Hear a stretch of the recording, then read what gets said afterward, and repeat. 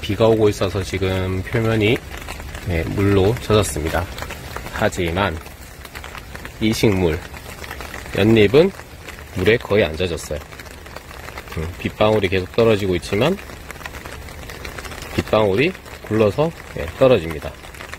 와 금방 떨어진 거 보셨나요?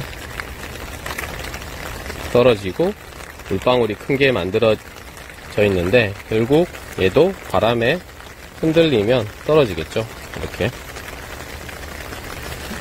얘는 슈퍼 하이드로포빅 설페이스 예, 소수성 표면을 가지고 있는데 한번 실험을 해볼게요. 주사기를 가져왔어요.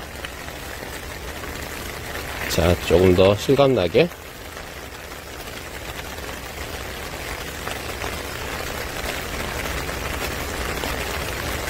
주르륵 주르륵 예. 이것이 바로 super hydrophobic surface 예. lotus effect입니다. 어, 지금 제가 어디 있냐 하면 음, 여기는 음, 예, 오른쪽으로 틀어보니까 예, 원예학과 온실이 예, 보이고요. 이쪽으로 쭉 돌아보면 여기도 실험 온실 A 해서 이렇게 보입니다. 그리고 여기 수생식물과 로터스 이펙트를 실험할 수 있는 연, 연잎이 있고요. 여기는 어디냐 하면 농대 5호관에서 깊숙이 예, 들어와야 돼요.